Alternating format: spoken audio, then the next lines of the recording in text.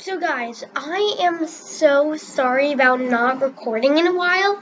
Um, some technical difficulties came with YouTube, and so that's why I couldn't post. But now I'm pretty sure I can post now with my computer, so yay! So bye guys, and well bye.